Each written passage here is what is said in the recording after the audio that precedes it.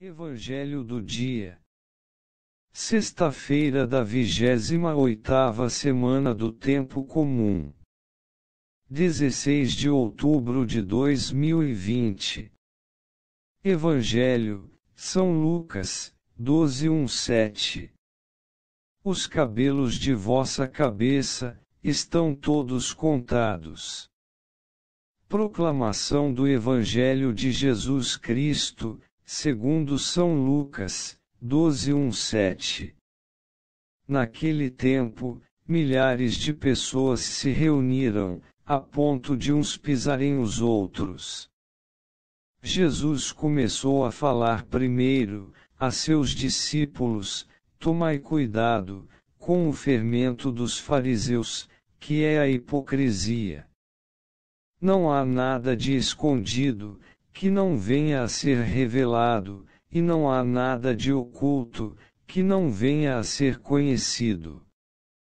Portanto, tudo o que tiverdes dito na escuridão, será ouvido à luz do dia, e o que tiverdes pronunciado ao pé do ouvido, no quarto, será proclamado sobre os telhados.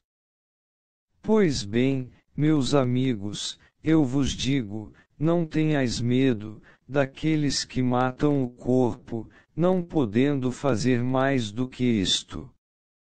Vou mostrar-vos, a quem deveis temer, temei aquele que depois de tirar a vida, tem o poder de lançar-vos no inferno. Sim, eu vos digo, a este temei. Não se vendem, cinco pardais por uma pequena quantia. No entanto, nenhum deles é esquecido por Deus. Até mesmo os cabelos, de vossa cabeça estão todos contados. Não tenhais medo. Vós valeis mais do que muitos pardais. Palavra da salvação.